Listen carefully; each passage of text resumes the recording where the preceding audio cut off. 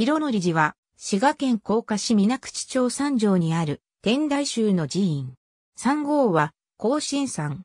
本尊は、清面金剛尊。甲信山と呼ばれる。自伝によれば、783年に、最長が延暦寺建立の際、溶剤を求めて訪れたところ、山頂に光明輝き紫色の雲がたなびくのを見て、頂上に登ると、上与の岩に稲妻が発し、その中に大生面金剛の霊視を監督され、像を自作して祀ったのが始まりと伝わる。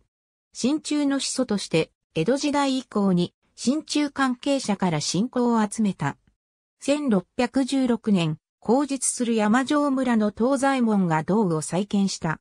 2013年4月22日、漏電火災で本殿を消失し、2017年3月末に再建した。甲賀市の魅力ある風景である、出会い、甲賀八景の甲賀の里を望む、かつての水口町の観光、水口八景の更新の就職に選ばれている。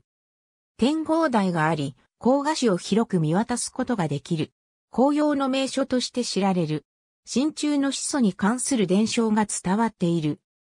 ふもとの三条村の東西門は、貧農で生計が苦しく、本尊の生面金剛村に深く帰依し、1593年正月に広則寺にこもり祈願をしたところ、満月の夜、銅に亜鉛を混ぜる合金の法を伝授され、1599年に京都で試して真鍮の合金に成功したと伝わる。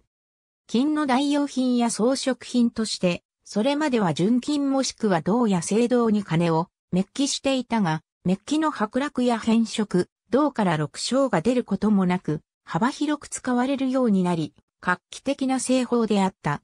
ただし、自力で開発したのではなく、大陸から伝わった製法を改良したと推測されている。この出世端にあやかろうと、江戸時代には、真鍮元祖、真鍮祖神として、江戸、京都、大阪の三都の金物屋から信仰されてきた。1851年には三都、金物屋中が三六周辺に多数の石像銅標を建立した。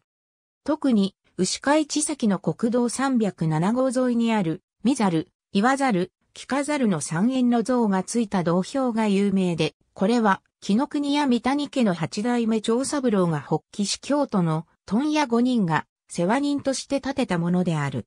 100以上の玉垣が寄進され、当時の全国の新中関係者がほぼ網羅されているという。中でも最も玉垣が多かったのは前述の木の国や三谷家で関係者を含めると9つあり、その他、上野党の寄進などもしている。大正期からは大阪の新中関係者からの支援が盛んになり、後進行を母体とする大阪の王道組合の組合長四代目、坂根武平が1922年に全国の新中業者に呼びかけて三条更新堂保存会を結成し、記念事業の開催と東西門の銅像を建立した。なお、この銅像は戦時中に供出されたが戦後に再建されている。ありがとうございます。